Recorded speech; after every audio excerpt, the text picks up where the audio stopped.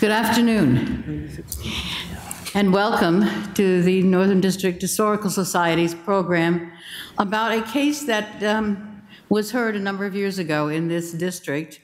And you are going to be fortunate enough, as we tell the story of this case, to hear from some of the key players who were in that case. And they're all surrounded me up here, and uh, we're delighted to have each one of them.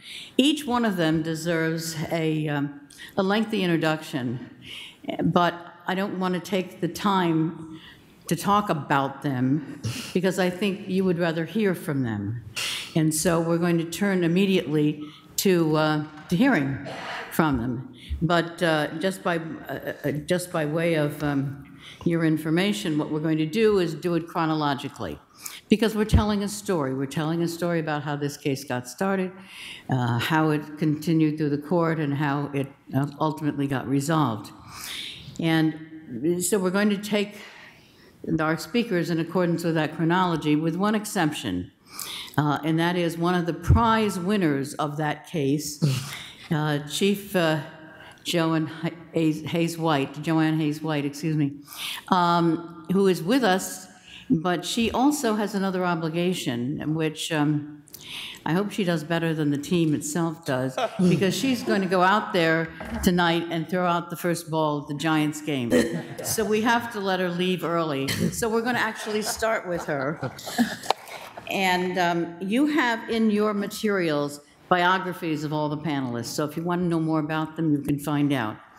Uh, all I have to say about Chief Joseph, uh, Hayes White, because she's such an incredible person and she's about to retire, is that she was among the first uh, of the women who joined the San Francisco Fire Department after the consent decree. She joined the San Francisco Fire Department in 1990, and she became chief in uh, 2004 and is still the chief, but shortly to retire. And uh, you can find out a lot more about her and also about uh, one of our other speakers, uh, Chief uh, Robert Demmons. I found out that there is a website, and if you want to know more about them, there's a website called, that I'd never heard of before, um, called the guardiansofthecity.org. Guardians of the City, and you can pull up wonderful information about the fire department, about other departments of the government, and also a lot of information about these individuals in particular. So I welcome, uh, first of all, Chief Hayes White. Let's hear from you and your experiences, and tell us about the department, and a little bit about the beginning, and a little bit about where we are now. Thank you, Your Honor. Judge Patel, uh, it is a pleasure to be here this evening. Uh, first and foremost, I wanted to acknowledge uh, Neha Gupta with the City Attorney's Office. She also happens to, uh, one of her roles is advising the fire department. So uh, thank you for including me in this. Uh, it is a very esteemed group of people. Um, I'm honored to be here sitting with each and every one of you. And all of you play an integral role in me sitting here today as Chief of Department. So um, that, that has to go first and foremost, my gratitude and my appreciation to all of your hard work. Uh, I also wanted to acknowledge Mayor Edwin Lee, who was also very much a part of this case as he was working for the Asian Law Caucus at the time of uh, the consent decree and advocating for a more, more diverse workforce. Um, I am a product of the consent decree. I was within about the first 20 women hired the consent decree began in 1987 after lots of hard work. The first women entered the department in August of 1987, I believe. And uh, we still have one currently still on the job, um, and the others have retired, but they were the true trailblazers at the time. And um, I entered in 1990, and as Judge Patel said, I currently have served as, uh, currently serving as chief for four more days. I retire on May 5th. And um, I think I started something because my successor, I'm very proud of her. I think she was going to try and come by. I don't see her in the chambers currently, but that is Jeanine Nicholson, who I promoted to deputy chief last year, and Mayor Breed selected as my successor. She'll be sworn in Monday morning, May 6th at 11 a.m. Very, very proud of her and um, all that she'll do to continue to, to lead the department. Just a little bit uh, that I wanted to note, a little history and then I'll talk to you about, I'll fast forward into to where we're at now. But um, the man next to me also uh, deserves major credit for, again, for me being in this position. And that midway, early on in my career, really, um, we got to know one another, and he gave me a huge opportunity. Um, and as I just talked about her, she's entering. It's perfect. So let's give a round of applause to my successor, Jeanine Nicholson. Thanks for being here, Chief. Uh, and so Chief Demmons promoted me uh, early on in, in my career, and um, that was an opportunity that, again, I think put me into a place where then in 2004, another visionary leader, then Mayor Newsom, who's now our governor, selected me as chief of department. But so just to give you some statistics, uh, on May 1st of 1988, the department was 83% white male, and that's when the first seven women came in. There were six that graduated in that class. So definitely less than 1%. And then in June of 89, another class was hired, 13 women, just about the 1% mark. Um, and there was about, uh, there were 80% white male at that time. So you can see over a little bit of time now in 93, 70% white male, 52 women, about 3.5% women. And throughout the country today, that's about the average in the big cities. So Boston and New York have less than 1%. LA County and I believe LA City have about 3%. And so um, we were there in 93 uh, because of the consent decree for sure. Um, in July of 98, um, and that was midway through Chief Demmons' career, we, he made great strides. There was 148 women representing about 9.7% of our workforce. Um, so in a relatively short period of time, two years as chief, you really turned things around and made opportunities for women and minorities. Um, and then um, there was 56% white males at that time. At this time, currently, I'm really proud to report, as I fast forward to this year, we have 15% women in uniform. We lead the, the country, and really, if we're leading the country, we're leading the world with women in uniform. 261 women uh, with 49% white males. So more than 50% of our department members uh, are minorities, which I think in this city, really in any city, the workforce should mirror what the community is. And, you know, less so in a fire emergency where there's sort of this universal language of we're rushing in, where people are rushing out, but 75, 80% of the time, what we're doing is responding to medical calls. And to have someone that can convey or obtain critical medical information, we have many bilingual speakers. Um, and, you know, growing up, I played a lot of team sports. And I think you know, there's a there's a there's a beautiful sort of segue into the fire service being a blended team of people. Maybe back in the day, someone thought that you know a crew of four men that were large in stature, six three, six four, they were the best to have. And I've seen time after time, whether it be fire or medical, the fact that you have a blended team of people is much better. Uh, sometimes we go over a cliff and we're going to send the more agile person into a confined space. We're going to send the smaller statured person. So it really makes good sense, not only from a justice point of view, but from a from an operational strategy and tactics point of view, to have a blended group of people, and that's exactly what. As I leave this department, uh, after nearly 30 years, I'm very proud of my number one proudest achievement is the continuation in it now almost 21 plus years post consent decree. Uh, there was concern that there may be some backsliding, and if anything, uh, we, we've we've broken the records of the goals that were presented at the time. So, again, I think. And I'm not going to put words in Chief Demmons' mouth. What Chief Demmons saw, and then what Mayor Newsom saw in me, was someone that would greatly respect our rich history and tradition, which we do have. We became a paid professional department in 1866. But they also wanted someone, and they saw in me someone that would respect that piece, but really bring the department into a more modern, progressive, inclusive environment. And that's exactly what we've done, and that's exactly what I know Chief Nicholson, my successor, will do. And having worked here and been chief for 15 years, I've been privileged to hire 1,200 of our 1,800 members, and all shapes, all sizes, all ethnicities, genders. Uh, really, really proud of that. And um, with that, I know I want to be sensitive to the time. I'm happy to answer anything else you might have, Judge, but I just wanted to give you a snapshot and, and again to say, really, truly, it's an honor and a privilege to have served in the San Francisco Fire Department and as chief for 15 years.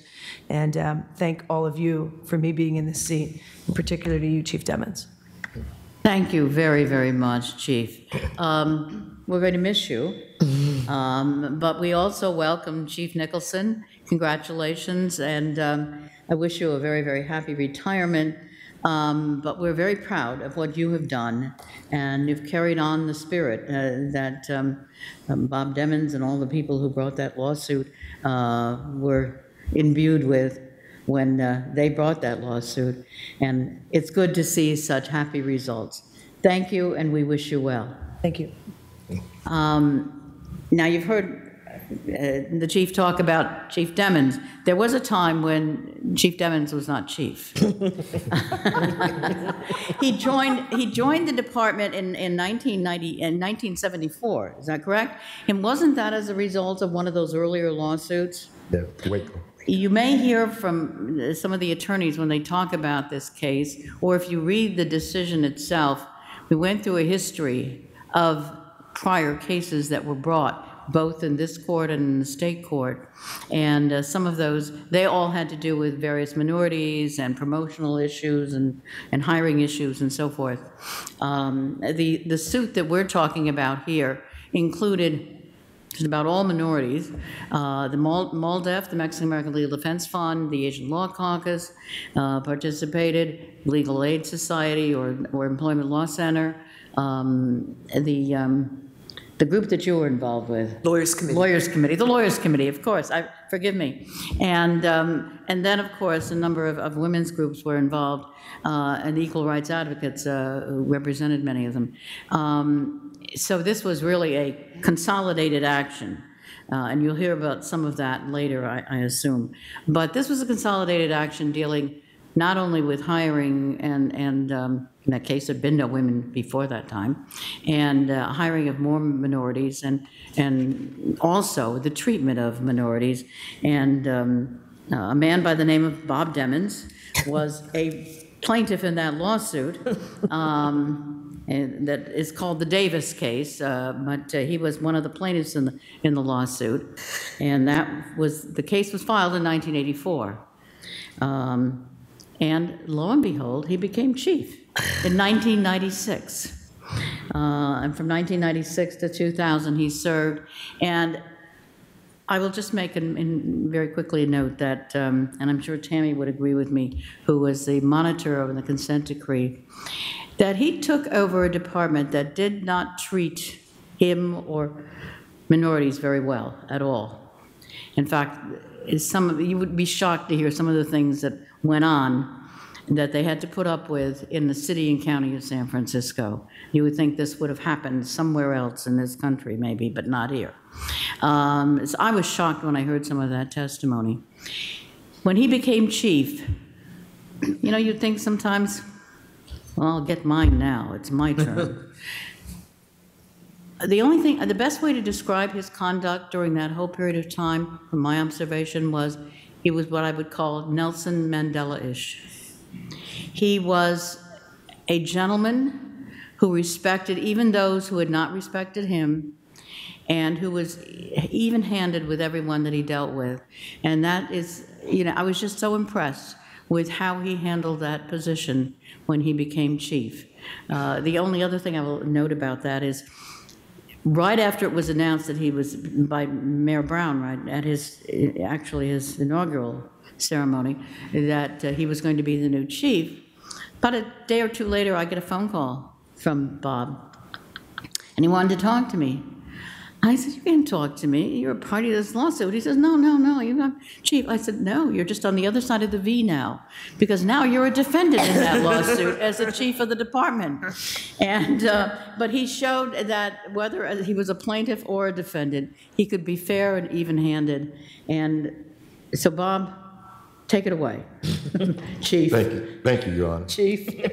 for more, more than just introducing me. The um, diversity and inclusion to the San Francisco Fire Department actually started in 1955 when Earl Gage, the first African-American, was hired. There were 1,800 firefighters at the time, and he was the first African-American. I- I recall as a young teenager, hearing a lot of the things that he had to deal with.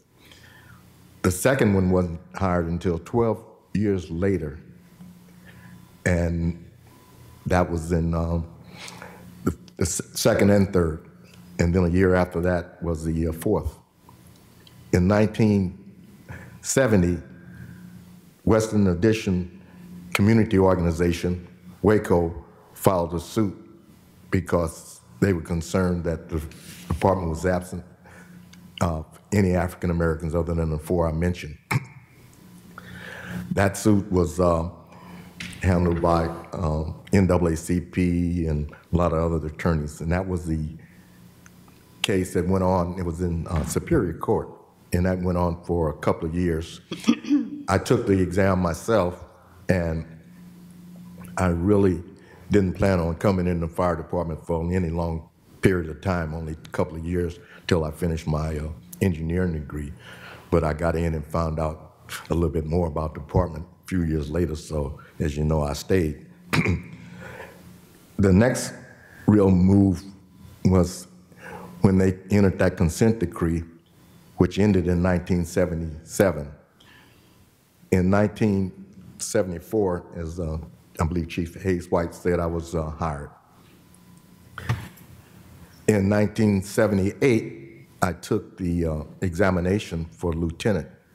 At that time, the consent decree stated that you got 1% per year up to 12 years of, of service. I only had four years in at the time, so I knew I had to study extra hard in order to uh, compete, which I did. Uh, I, uh, after taking the exam, I found out that a lot of the questions out of uh, 144 multiple choice questions, 122 were repeat from prior exam that individuals that had been in the department for a while knew about and had. The next thing I knew, after filing a protest with the city, um, it was ignored, and Bob Gnaizda, who was with the uh, public advocates at the time and was part of the Waco suit. So myself and the person I studied with, uh, Jim Braden, we contacted Bob Gnaizda and, and uh, asked him t- to do something about the city ignoring my protest. And Jimmy Braden also filed a protest a couple of days after I did. That we went, they ignored it and didn't hear it. So Bob Gnaizda arranged a meeting with Mayor Feinstein at the time, and we, they, she ordered the Civil Service Commission to uh, hear the protest. The Civil Service Commission scheduled the pro, uh, the hearing at 5 p.m. at night. At the time, I didn't think much about it. And it was interesting, one of the black firefighters' wife overheard one of the commissioners saying that he had received a call and he had to come there to take care, take care of the guys. That night, the chief of the department called all the individuals that were on the list that could be, be reached to the division of training at nine o'clock that night and swore, swore them in. And the reason for that was he wanted to prevent us from being able to file an injunction the next morning. And the reason they held the hearing that night was because that same reason. Uh, obviously, it was really painful to me knowing that something was wrong and the people responsible didn't care about. Um, unfortunately, the, the leadership of the black firefighters at the time, which was a social organization, they didn't uh, want to challenge the test. And they sided with the city and the firefighters union. After a few months, the uh, president re- resigned, and in fact, he brought his resignation to my house. I didn't even know he knew where I lived. And I asked the guys, I said, okay, now we need to run somebody for president. And they were all looking at me like you looking at me. And I said, no, not, not me. and, and they said, well, why, why, Bob? I said, well, one of the reasons is that I don't like to talk in front of people. And one guy said, well, what the hell you think you've been doing for the last few, several weeks. Yeah, really? So after becoming uh, president, um, I took on, obviously, the responsibility of representing the members. And that's when I started uh, speaking out for them on behalf of the harassment that was going on with the, with the black firefighters. And I got a, many books as I could on how to file complaints, EEO complaints. And I found out about the Office of Revenue Sharing at the time.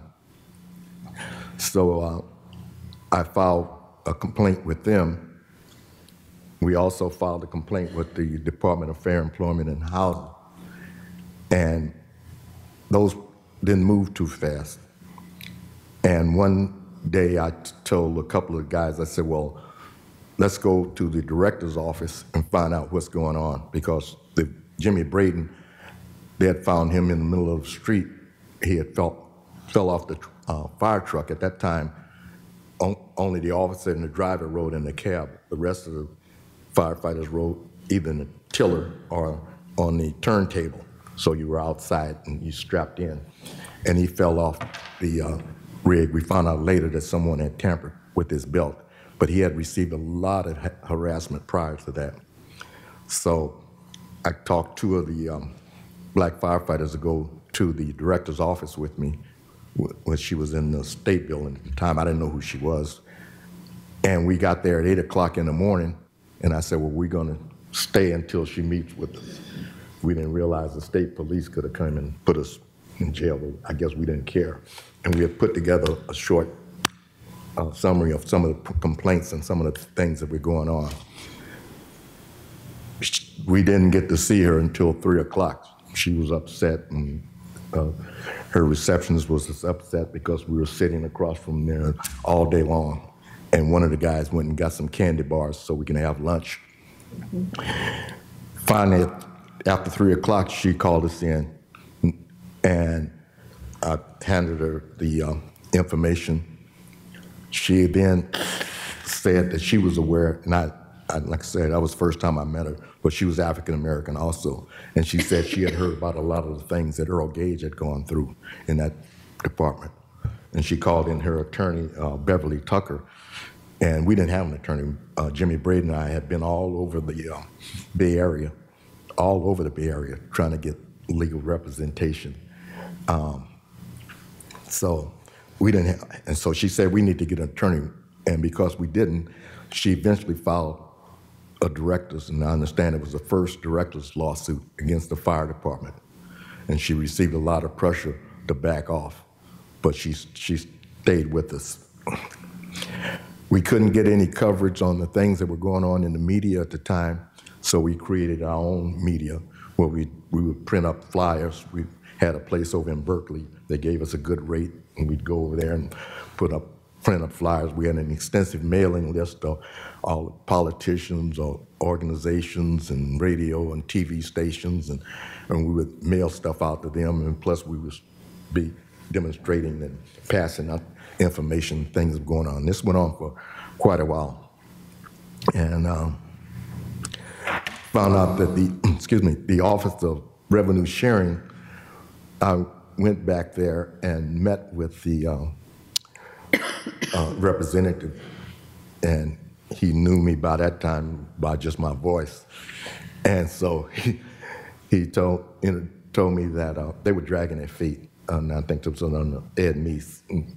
Yeah. So he told me that there was an attorney that was filing, uh, a, thinking about filing a suit against them to try to get them to um, speed up and deal with the cases. Uh, her name was Rosalind Gray. So I met with her, and she was with the lawyers committee back there, and she said, "Well, you know, there's a uh, we have a after I given her a lot of information, or several weeks I'd mail her stuff, and she says, you know, we have an, an office, lawyers committee office back in San Francisco, and uh, there's a uh, woman back there that's really great, and she can really get things moving for you guys, and uh, her name is Eva Paterson. I said, okay. I got back and I called Eva, and uh, when I called her, Eva took off. She said, "Oh, thank you for calling, returning my call." She had called me the day before, which I didn't, wasn't aware of. Yeah, I want want to know if the black firefighters to be a part of the amicus brief, and she went on. Nothing. What is, what's amicus brief? You know what I'm saying? so she explained it to me. I said, of course, uh, Cleveland Vanguard case was there. So after she um, gave me a chance to talk, I said, I really was calling you for some help myself. so that's sort of how it started. We went on for quite a while, and uh, it, almost a year. And so we were bombarding her with information, documentation of things that were going on in the department. And she called me one day, and she said that she was in a BART tunnel, somewhere, and she said the last batch of information we gave her broke, broke her down in tears, and she says, I'm going to do everything I can, can, can help. And that point, she introduced us to William C. McNeil III. right? yeah. Third? Yeah. Mess kidding with him. But, um, and he was that, at that time in private practice. And like I said, we were trying desperately to find any kind of legal representation. Um, and he came aboard. And I just have to say that over the years, I found that I've only known personally two African American men that have been involved in uh, public interest law firm. And I see the other one, Michael Harrison, sitting in the audience there, and Bill. And that really, that really um, had a lot of questions as, as to why but I can understand in this society it's not easy for people to exist in private practices, period, you know, some people. But and Chief, would this make be the a good, sacrifices. would this be a good time to turn to the lawyers now, to have them, I'm over five minutes already? Oh, at least, at least. You're going to get a reprise, too, so. So I think it- it- the, the three lawyers that, uh, that we have over here are among the battery of lawyers, but these were three of the key lawyers who handled the case, and you hear how he- he got to Eva, and um, you can take it from here, please. I'd like to acknowledge Michael Harris, who is part of the team, as well as our comrades who aren't here, Russell Galloway, Ed Lee, Mary Dunlap, Maria Blanco, and Denise Hulett. And it was really a team effort. Um, I'm a big talker like Bob, but I want to say before that it's interesting being in the federal courthouse because this was all about challenging white supremacy in the San Francisco Fire Department. Back then, clearly it's not happening now, but that's what was going on then. And we had the federal government trying to stop black firefighters, Latinos, women, and Asian Americans from progressing.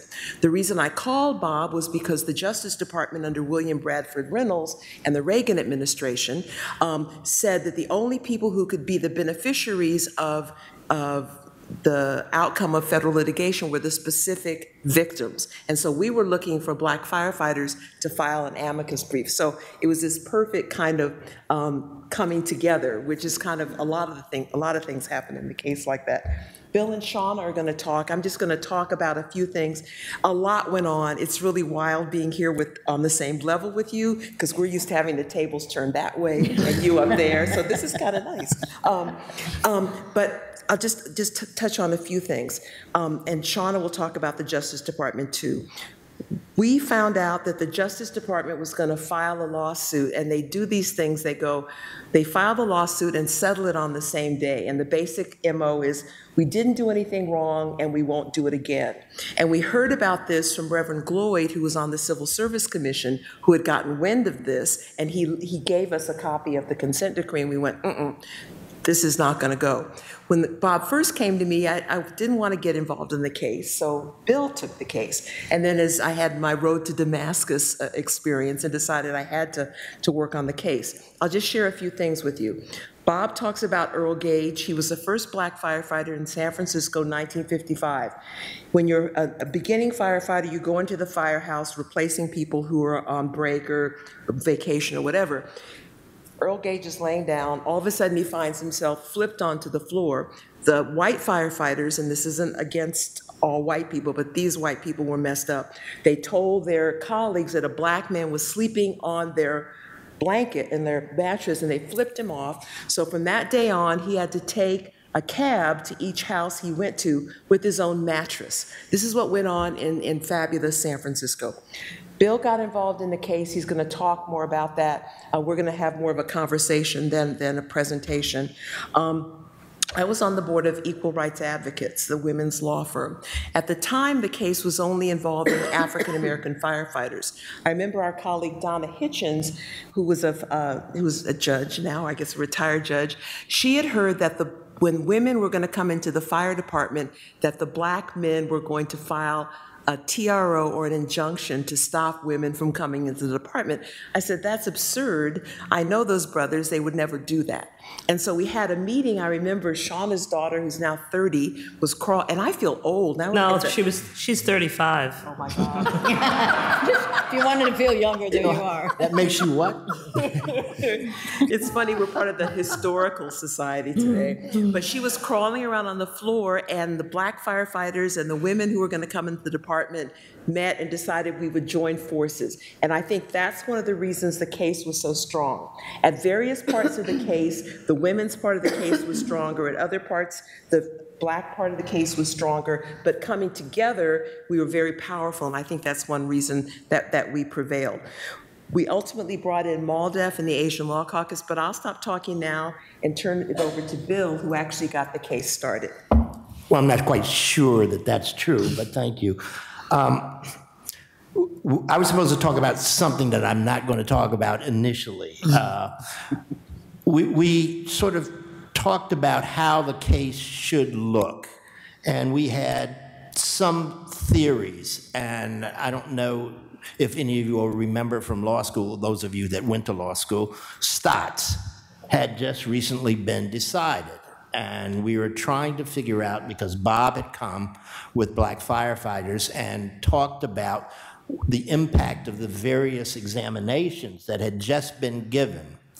And we were very concerned about certain things. So the first thing we thought we had to do was to stop those examinations and having people promoted or hired because once you read both Bakke and Stotts, they talked about the impact of so-called trammeling innocent white employees. So we wanted to make sure that we were not going to be put in a position that ultimately would result in essentially a Pyrrhic victory. We wanted to stop those examinations or any hiring or promotions from them, and uh, we are trying to figure out the best way possible. Uh, my wife had um, a friend of hers in law school who said you, you, you would bring every course down to at least two words and in looking at our case, we, we, we saw more than two words. Uh, the first thing was an old pattern of discrimination, which we thought we had. Judge Patel already, and Bob mentioned the Waco cases. The other word that we liked was the inexorable zero, which represented how many women were in the department at that particular point in time. And we decided that it really behooved both elements to work together, and we were going to do this with regard to a class action. And I was Mr. Grouch about that, saying, oh my God, we got these divergent people. We're going to run into problems with remedies because the interests of women were different from the interests of the men. Uh, the interests of black women might be different from those of white women, but Eva and Shauna prevailed and, and we went forward. And I think the, the case, uh, by working together, we did very well. Unfortunately, trying to prepare for this, I started looking at a lot of stuff, and I mentioned to Judge Patel, uh, saying, you know, you dismissed the case very early on. And she said she doesn't remember that. I don't know whether we should believe her or not. but I mean, those were the types of problems we had. And I'll add one other thing. We were fighting three people, three different defendants, although only two were defendants at that particular point in time. City and County of San Francisco, Local 798, which was the union, and the Justice Department. And it was, it became very difficult because it was, you're trying to negotiate and navigate with regard to all three of those entities. And I'll talk, turn it over to Shauna with regard to the women's stuff. Thank you. So um, um, I left practice to become a law professor, and the firefighter case would be a great exam for civil procedure because it was so complicated given the many parties and the different roles they played. One of um, our concerns bringing the case on behalf of the women was a change of the physical agility entrance test. That clearly was not the same barrier for the men of color. So that was the kinds of issues that we were um, trying to think through as we litigated this case. But I want to talk a little bit um, about some of the procedural uh, gnarly parts. We filed this case, Davis case, and it was a race discrimination case and a gender discrimination case. The race discrimination case was only against, at that time, on behalf of, excuse me, black men. The Justice Department, allegedly other plaintiffs, comes in, this is under the Reagan administration, doesn't believe women should be firefighters at all, fire, files a case um, saying you need to do better in hiring all men of color with a consent decree. So what do we do? We intervene in that action. But by and by intervening in that action and representing at least some of the real parties and interests, the black men, we were able to stop them from entering into a quick consent decree on behalf of black men. But then they wanted to move on Latino men and Asian men. So within, and the wonderful thing about the public interest community in San Francisco was that we have all worked together. So very quickly we were able to get MALDEF and the Asian Law Caucus to also intervene and stop the consent decree that they were trying to put in place on behalf of Latino men, and Asian men. And now we have this huge group of Asian men, Latino men, African American men, and women generally. And we ended up then realizing that we should break up the women in terms of women of color and white women. So we are moving forward now with five subclasses in this class action case. And I often think that the women of color, in terms of the entry level issues were really pivotal because unless you really fixed both the physical agility test and the written test, they would not be benefited. And having them as part of the plaintiff's class, I think allowed us to keep our eyes on the prize for the um, bigger picture.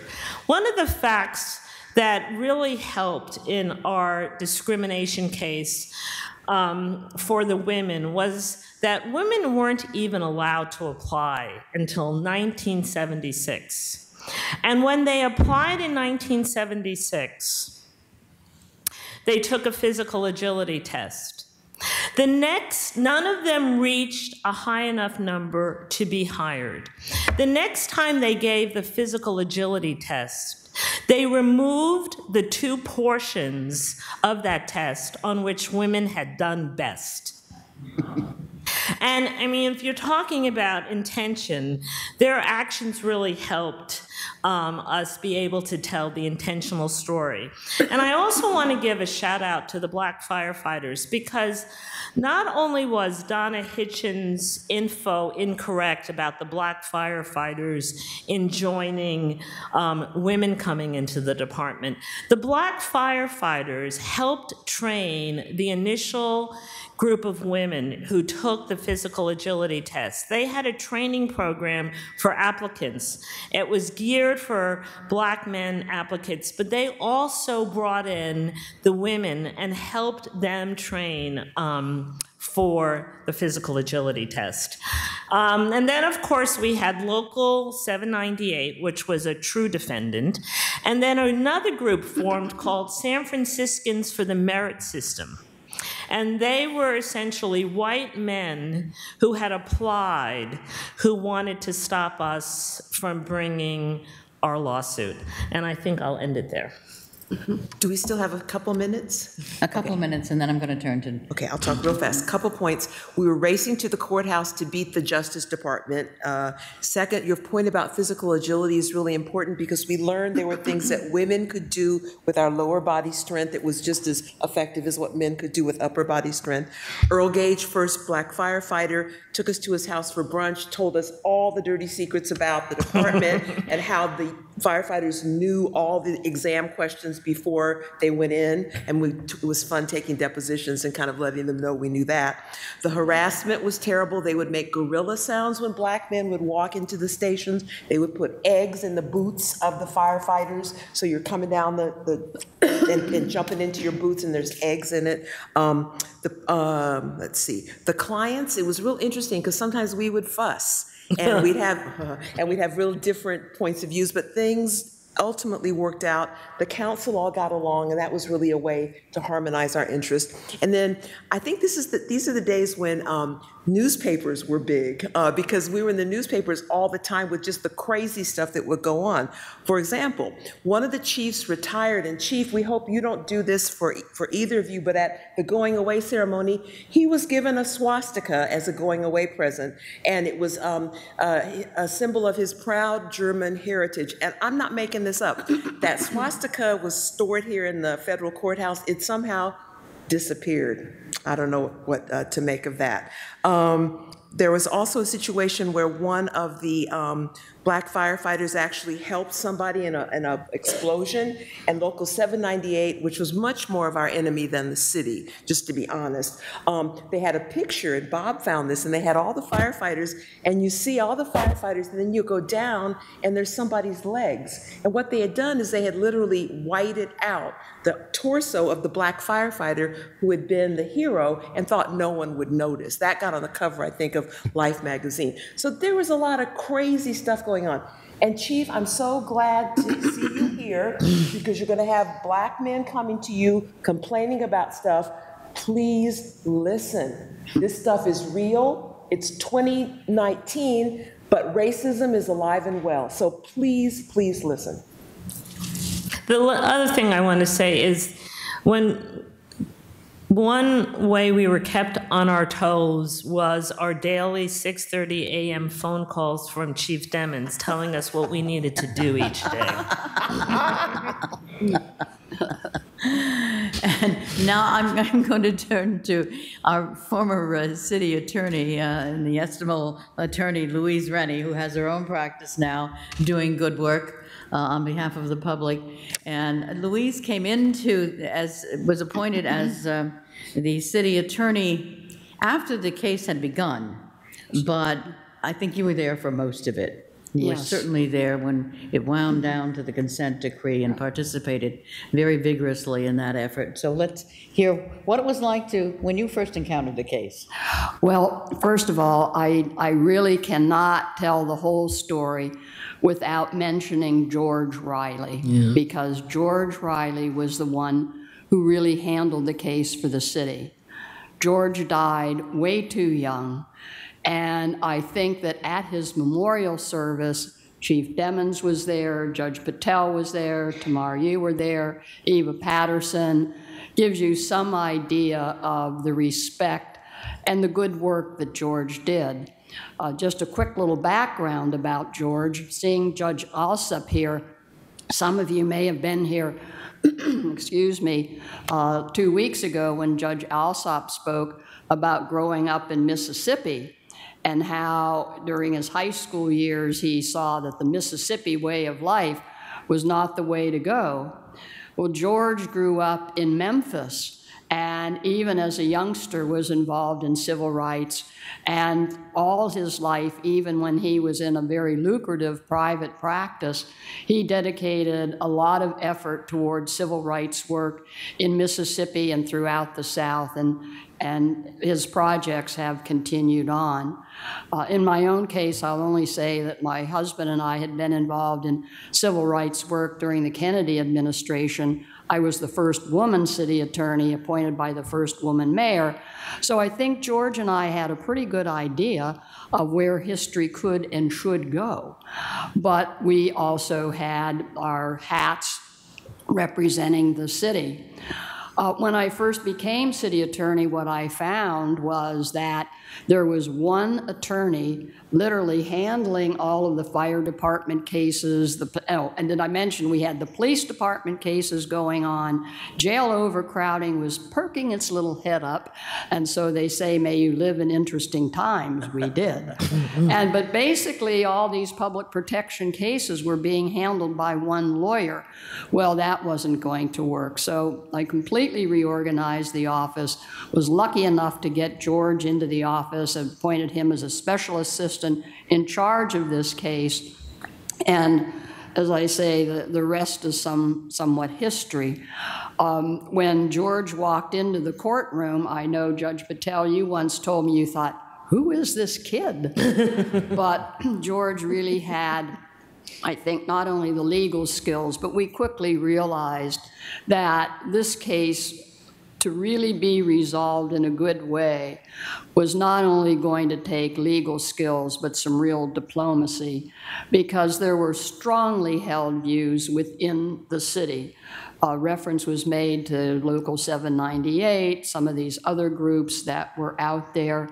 And I will say George worked very hard to try to push down the, the sentiment. And we recognize that change is hard for many people, but it has to come. And so we approached it from the standpoint of, of what needed to be done, what had to be done, and as they say, the rest is history.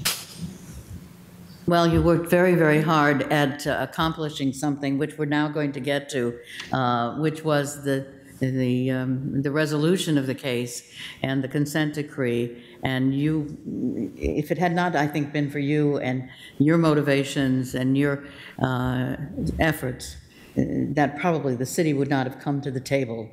Uh, as a matter of fact, there were some attempts to keep the city from coming to the table, and you prevailed through it all. And we're going to hear about what happened? Because we, we went through some, tri- we actually had some, a lot of it was done by motion, but we did have some trials that involved some testimony. That was really with respect to uh, the treatment of African-American men, uh, officers in, in the, uh, am correct? Because I remember some of the testimony we took. We took testimony that related to how African-American officers were treated in the department.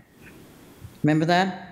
Because I remember, we're going to get to that because you, I remember some testimony that you gave. But let's talk about how this case ended up being resolved because a lot of time was spent carving, uh, you know, creating the consent decree and hammering it out and the details of it and then um, the monitoring of it.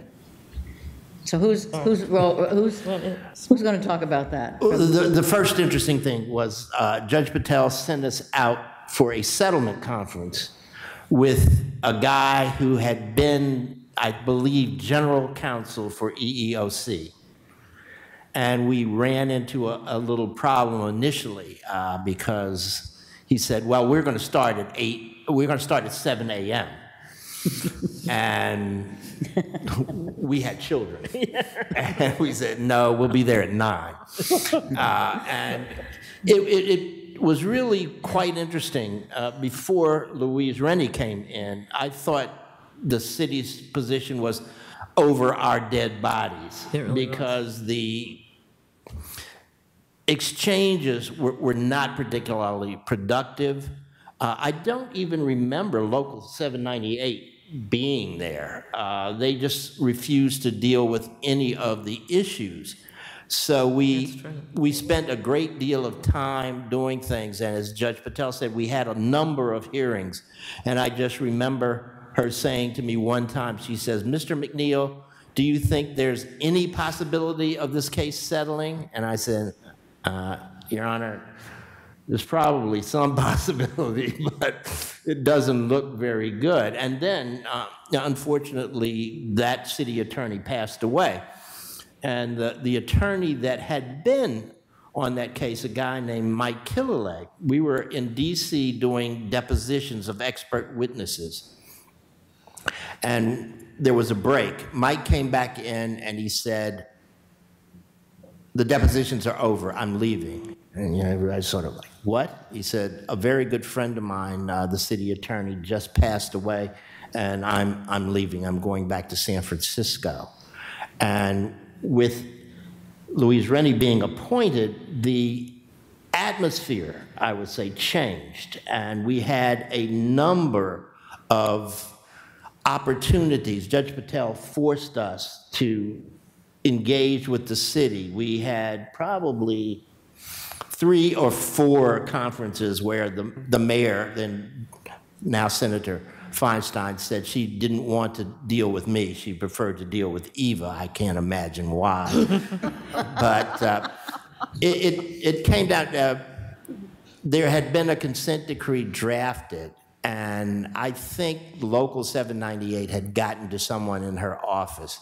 And we were at one of her one of these meetings in her office, and she said, I've read the decree, and it's just full of preferences. and we said, You clearly didn't read the same decree that we read because the word preference isn't in there anywhere. So, what are you talking about? And it, then it, it sort Devolved. of yeah devolved into you don't know what I'm talking about, nor do you care, and those kinds of things. And then she said, well, we have to leave in any case because the 49ers were playing a playoff game, so we, we sort of knew what, what the city's interest really was. But after a certain amount of time, and I think it was Judge Patel asked us if we would agree to have her be the settlement judge as well. And she asked us to brief the issue that seemed to be holding everything up, and that was the issue of whether there could be gender and race conscious relief. Again, we, I mentioned Stotts earlier, Local 93 had come down, uh, but the Justice Department had been filing amicus briefs, and there were three cases that were up in front of the Supreme Court at that particular point in time. And we ultimately got Judge Patel as our tentative settlement judge.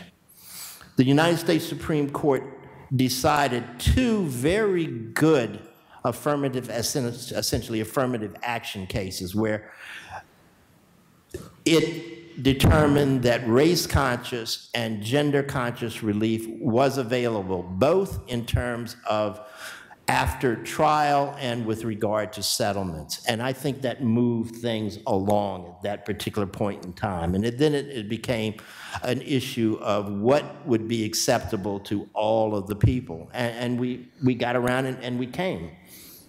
The Justice Department didn't involve itself in any of those settlement discussions at all. Local 798 didn't, and at and I before we came out, I was talking to Judge Patel. We were the first people here. Uh, we had a hearing about whether the consent decree would be accepted or not, and I don't even think the Department of Justice showed up for that settlement No. hearing. Uh, Local 79, Local 798 did. It opposed the decree, and I believe stated in open court, if you approve this, Your Honor, we're going to appeal. Which they is- did. Which Which they exact, they did exactly, and. I did, they did, we did, they, they did, whatever. So, so uh, that, that was sort of the settlement discussions, and a large number of people were involved with that, and all parties except the Department of Justice and arguably Local 798 engaged in it in good faith, and we came up with something. And then it was challenged. I just want to jump in here. I was surprised pleasantly that um, the city also agreed, and I give this credit to Louise on this, to allow Judge Patel to also serve as the settlement judge with the understanding if we didn't settle, she could still hear the case in trial. Uh, we did have a couple of sessions in your chambers, I remember, because I was representing the plaintiffs. And one of the other great things that I think Judge Patel did when we met in chambers is she had Bob Demmons there. She had one of the plaintiffs there. And the reason I think that was so helpful to all of us is because as we got into the nitty gritty, having an insider who was in the department to tell us the kind of detailed remedial structures we needed based on his experience of what was going badly within the department, but also what had not been covered effectively under the first consent decree, the Waco case of the 70s, was really helpful. And there were little things in the decree that I think really helped us have the diverse department that Chief Hayes White described today. For example, before promotional tests could be given, you had to have a certain percentage, or we said goals, of women and people of color in the rank below so that they could have the opportunity to take that test. And what that did is it motivated the unions to keep, and the department to keep hiring and promoting and meeting those numbers because otherwise you couldn't have the next lieutenant's exam and you couldn't have the next captain's exam. And that was Bob Demmons's idea. And I think he knew what would motivate uh, the, the city, the fire department, to keep the consent decree going. The other things that we did that were really important for women were we put in the decree things like uniforms that fit, attire that you sleep in, the kinds of little details that we hoped would keep the women from being harassed once they were hired. So I think having Bob in there um, was really important as we were negotiating. Of course, as we really got into the nitty gritty, the union disappeared and the Justice department disappeared, and it was really just the city and the plaintiffs ironing out all these details. I think that a great deal of credit also goes to you, Louise. You want to say a few words about what that process was like? Because things really, once you became the city attorney, things moved along. Well, thank you. Uh, As I say, Judge Patel, I think with George and my background, it was clear that what had gone on in the past just simply wasn't right. And we had gone through the, I think my first vote on the Board of Supervisors was on the police department consent decree and uh, to, to agree to that. But I'll just tell you sort of two humorous stories about, you know, obviously as city attorney, you not only work directly with the departments and the Board of Supervisors, but mayors. So two stories about mayors. Uh, following uh, Mayor Feinstein was Mayor Agnos, and he often tells the story that his first day in office, uh, I, I come in and I say, Mayor Agnos, uh, Federal District Court Judge Marilyn Patel would really like to see you in your chambers this afternoon, if at all possible. and then I, I don't want to just jump ahead, but I will say forever in my memory will be the day when Willie Brown, at his uh, swearing in down at Yerba Buena Gardens, and announced that Bob Demmons was going to be Chief Robert Demmons, and that was that was truly remarkable. Yeah, truly remarkable. Well, once you have the consent decree, of course, then things follow, right? There's a period of time that's in, that it's extant, and you've got certain requirements you have to meet and follow up on, and so on and so forth. And that required monitoring. So um, I invited uh, Tamar Pachter, who is seated to my left, who was at one time my law clerk and a very fine one, and then she had gone out into private practice, I think, at that point, and um, we had a, we had appointed a woman who did a, Barbara Phillips, who did a fabulous job as, a- as our first monitor, but she, uh, she left the area. And so uh, an African-American member of the Fire Commission by the name of James Jefferson um, agreed to serve as sort of the monitor and supervise the consent decree. But he was not a lawyer, he, and he sort of was uncomfortable doing that. So everybody agreed, all the parties agreed that Tamar could come in, that she was familiar with the case, was there when the consent decree had been entered into, to part, to be the lawyer, uh, assisting uh, and being a co-monitor with him. And so she uh, observed some of the things that went on during the monitoring, because the fun didn't just stop there, and the fun didn't stop when uh, Bob Demmons became Chief Demmons, um, because um, this really tested his mettle, and he proved himself um, up to the job and then some. But uh, we had a number of complaints that were filed by white firefighters, in fact, a lot of them, and um, uh, Tamar can tell you about some of the experiences she had in monitoring the case and making sure that everything went as it was supposed to. So um, you can see I was very lucky to be Judge Patel's clerk because then I got to meet all of these fine people and be involved in the execution of the of the consent decree. Um, the consent decree uh, addressed two separate things. It addressed the development of the promotional exams and the physical agility test to eliminate the adverse impact that they had had on women and minorities who were trying to apply to the department.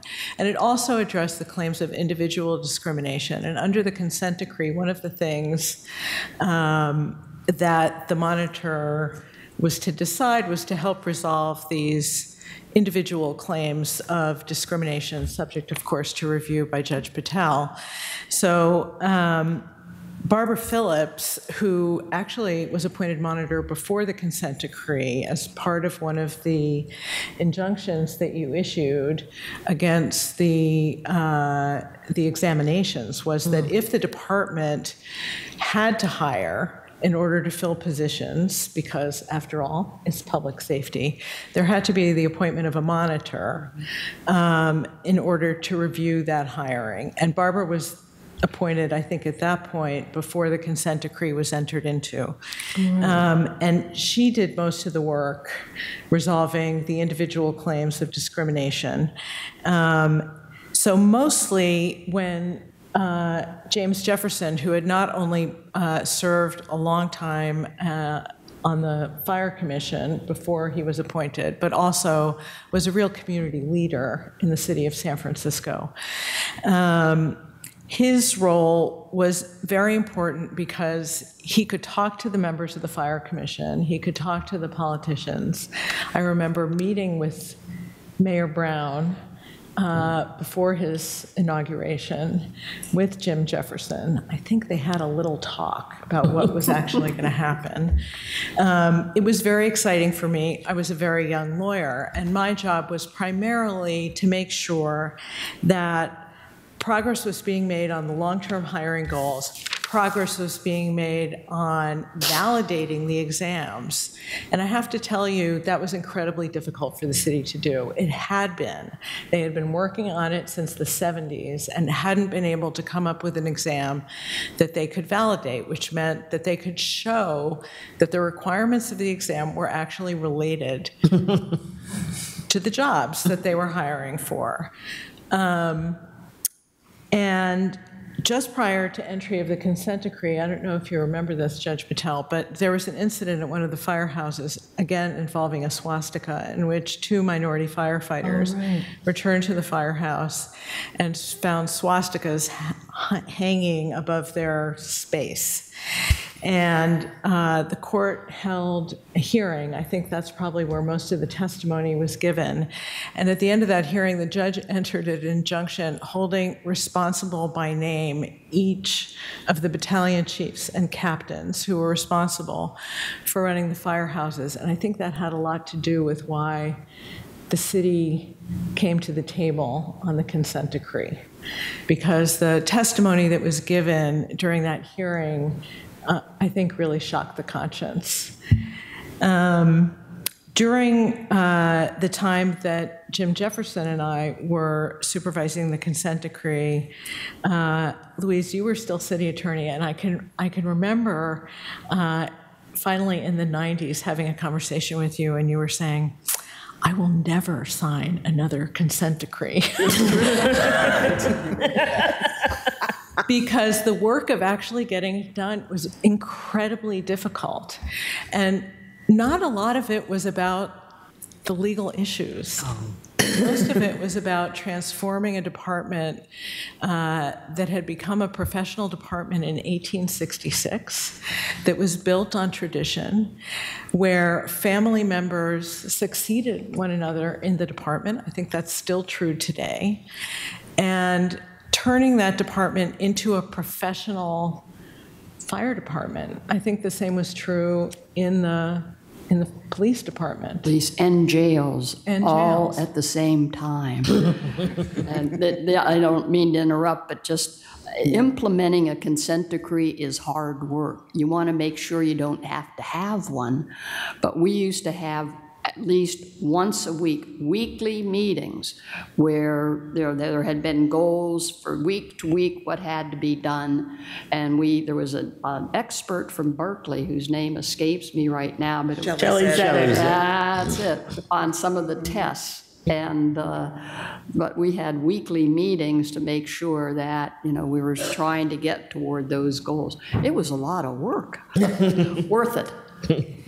It was a lot of work, and and despite the effort of experts, uh, you know, it was early days, right? And not everybody knew exactly what they were doing, and nobody could guarantee the outcome. And um, there aren't very many consent decrees out there anymore. Hardly anybody enters into them, and I think.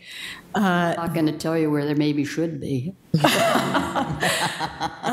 I think part of the reason is that um, lawyers are, uh, in many ways, ill equipped to get this job done. It's a job of uh, changing culture, changing professional standards, um, and uh, convincing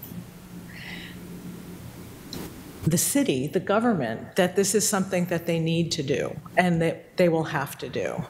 Um, and the role of the judge was mainly to keep reminding them that they had to do it. And um, for many years, the city had been trying to write exams and hadn't been able to write an exam that could be validated. and they tried and tried. And I don't think a lieutenant's exam was given until when? It, it took a while. When was that? In The 76. 90s. Yeah, The first one. First. the- In 70s. No, but after the No, no, no, no, no, after the consent decree. I don't After think a the consent lieutenant's decree. exam was given until the 90s. I don't remember, but it did take a while. It took a long time, yeah. Well, one of the things that also happened was the, the union was really the, you know, the the troublemaker in all of this. I'm trying to, they fi, they filed an appeal. Ultimately, the decision was affirmed, but they filed an appeal. And um, while the consent decree was pending, um, a number of them, I know they gave Chief Demmons, when he was chief, grief, you know, and, and, and, but also they filed, they started filing complaints. Yeah. Remember that?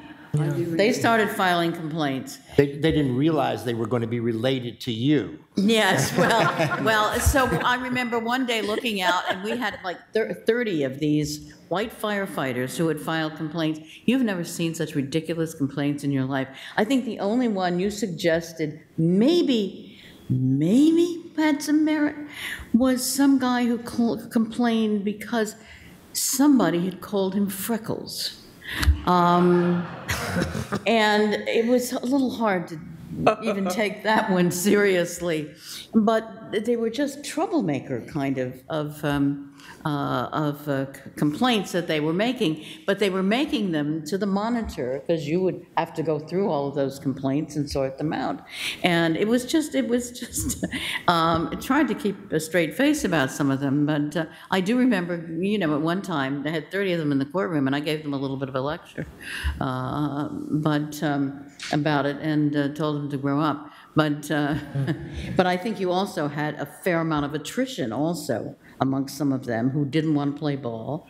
And, um, and I think you can tell us, you know, in, uh, what it was like to try to then come in as the chief, having, having been the plaintiff in this lawsuit and the troublemaker. Now you were going to have to uh, take over this department. And what was, the and so we're going to finish with this. You tell us what that was like.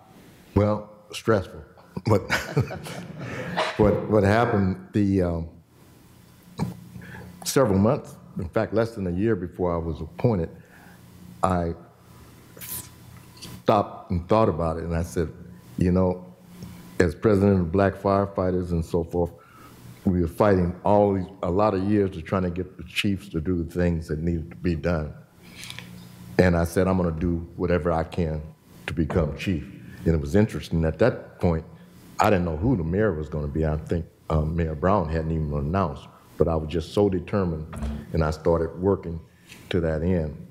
And one of the things that was real interesting was that, as you recall, you um, called the department out of control and ordered the department to hire a management consultant. And. I, the way I look, that management consultant that was hired, after taking away almost five hundred thousand dollars of taxpayer money, had was fired. But not only that, I knew the history of a lot of consultants coming to the fire department to solve the problem. So I was determined once I became chief that I was going to be the management consultant. Mm-hmm. and Tammy was on me every day saying, Chief, you ought to, you're in contempt. And I didn't say this, but I was thinking, well, oh, I'm just going to be in contempt. But I, didn't- she, she was on me every day because she was doing her duty to, to follow the judge's order.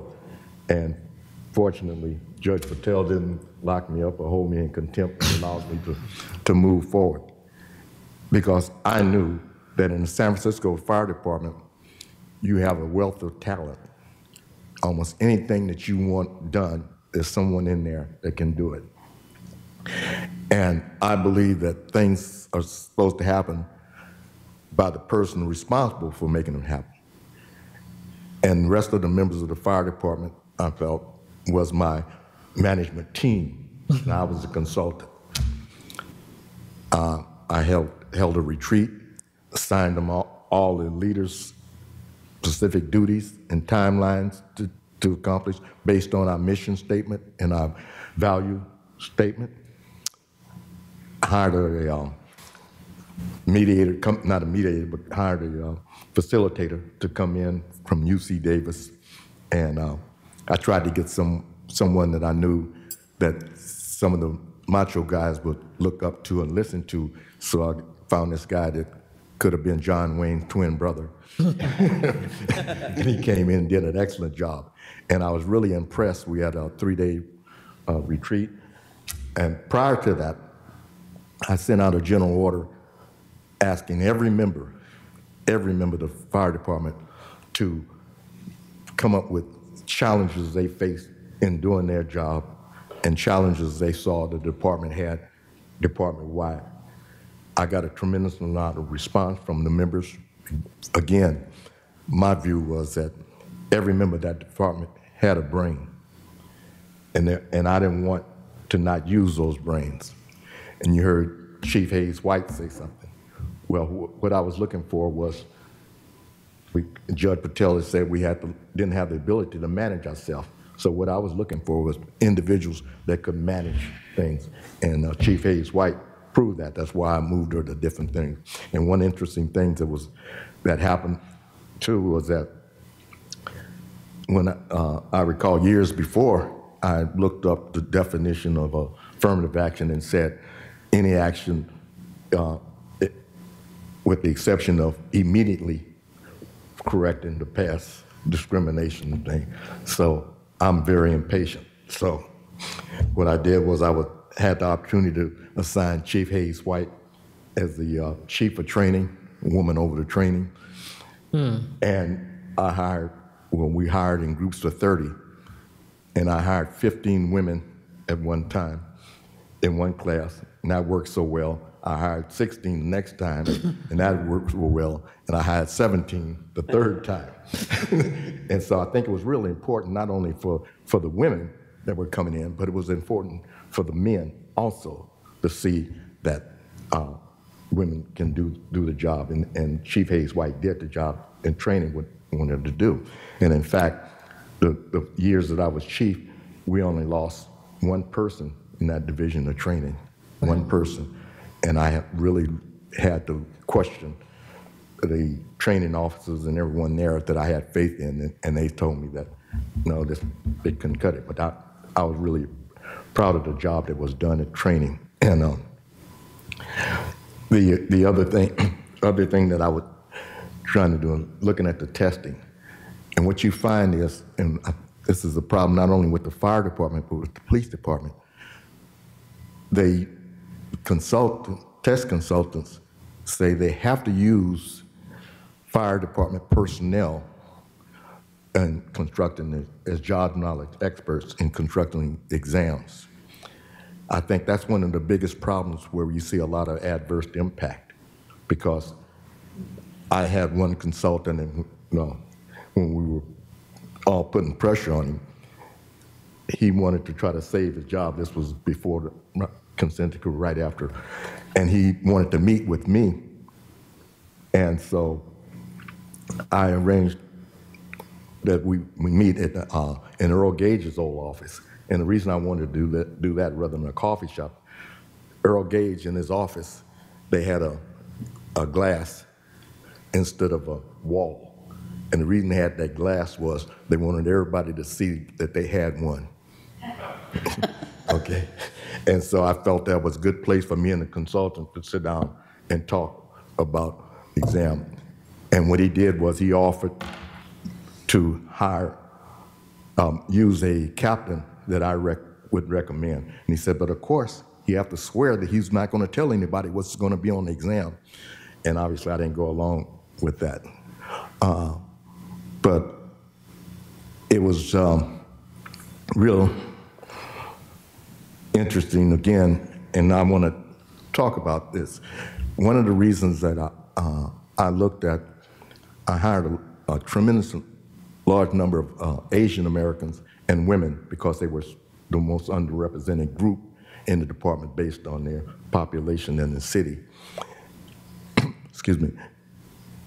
I look what's going on now, and I think this is real critical, and I don't know who who can handle handle it, but the firefighters here. But fire departments turn over every 20 years or so because people are hired in large groups. And one of the things that I wanted to, to, to do was, I know that a large, nu- a lot, of, a number of the people, women and uh, minority men, got in as a result of the courts, not only in San Francisco, but I saw, saw that around the country. So one of the things I wanted to do was try to create a, a, a system where they wouldn't have to rely on the courts to make those decisions.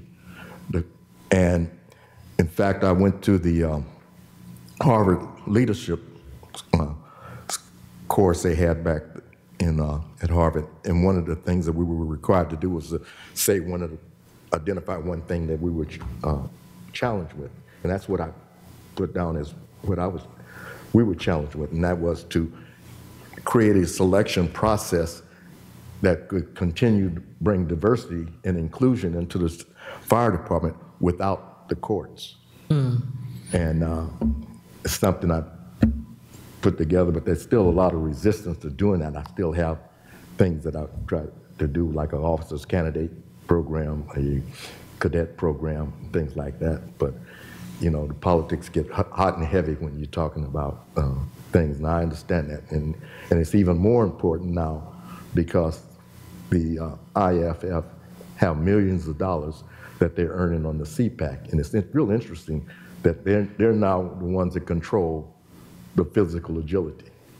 Okay, not only for San Francisco, but for the other departments around the, the country. You know, that's, that's really something. you know. Any comments from any of the rest of you uh, about uh, the follow-up and, um, I have two quick things to say. Um, often opponent, opponents of race-conscious relief think that unqualified people will get into positions. And I remember in one of the classes, there was not a qualified woman of color to enter, and we said, if there's not anybody qualified, then we don't want to just put anybody in. So you need to understand that's how affirmative action really works. It's not this bugaboo that people think, oh, just rotten people are getting in. The second thing is part of the consent decree was to adjudicate racial harassment claims because the black firefighters had been treated so abysmally. And the Lawyers Committee for Civil Rights um, recruited, I think, about 38 attorneys from downtown law firms to represent the African American men, and the men ended up getting almost a million dollars in damages, which won't make up for what happened, um, but it certainly was was good, and George Riley was a big part of that as well. So I just wanted to add those two points. that was very important, because I still remember your testifying in one of those trials or hearings, and um, that's where the shock of what was going on in, in the department really set in.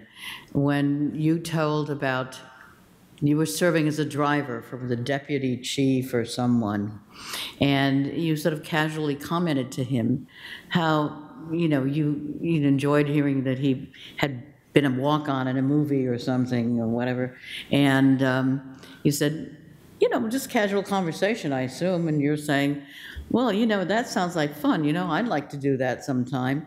To which he responds, this white deputy, to Bob Demmons, well, the next time they need a nigger pimp, I'll let you know. Am I right? Um, I, I sat there, my jaw dropped, and, I mean, and that wasn't, uh, there were other incidents as well as to how uh, minorities were treated in the firehouses, like your food, tray of food dropped in front of you while everybody else had to watch you pick it up, or whatever your response was to that. And, uh, and just things that just did not happen. Uh, And when somebody said something about preferences earlier, well, before that time, before the consent decree, there were preferences. You know who had the preferences, right? So it's just uh, equalizing preferences is, is what, you know, is what the consent decree did. But I, I want to thank all of you for participating in this this evening, and, um, and also for what you did to make, in your own ways, uh, every one of you, to make the department um, a much better department, and um, there's always room for improvement, but it sounds like at least this is one consent decree that had fairly positive results overall. I think so.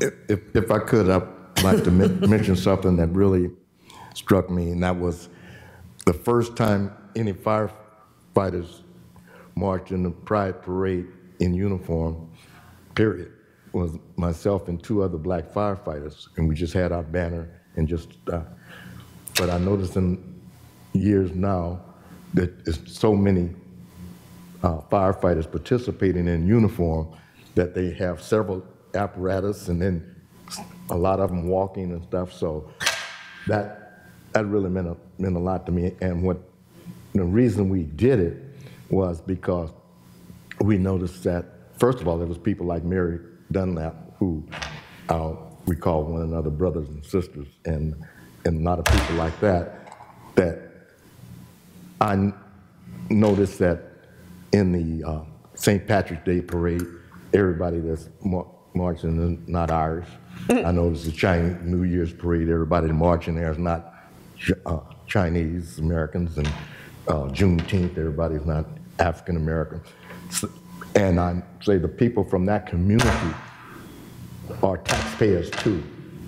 and they deserve to have their firefighters participate in their event. so that was something that, I, in fact, uh, Eva had. I don't know if she still had it. She had a picture of me and uh, it was James Outley and uh, Jimmy Dunson, and we when we were in Washington, I was. I don't know. She just had a picture. I was pointing my fingers, and I don't know what I was saying to him, but, but had that the office. But I will say this: that the energy that came from the people when they saw us was just something that I can't ever get over in my life. I, I've never seen it. It was like they were going to break down the barriers, and obviously, all individuals weren't from that community, but they were supportive of the community, and they saw we were supporting them. So that that one of the things that I cherish um, a lot. In fact, a lot of the guys in the firehouse were saying uh, were mad because we were doing it. They were out there in uniform and so forth. And one of the black firefighters said that um, one of the guys asked him, say, uh, is Bob gay? And when the black firefighter uh, told me that, I said, well, uh, why don't you tell him to ask me? He said, nah, Bob, you know he's not going to ask you. but, but I just want to say that because that, Well- me, that just shows uh, how broad the diversity has gone in, in, in this department. Well, we want to thank all of you for your participation in the case and all that you did and your monitoring afterwards to make sure that, that things happen and, um, and for your participation in this program as well. Thank you very, very much.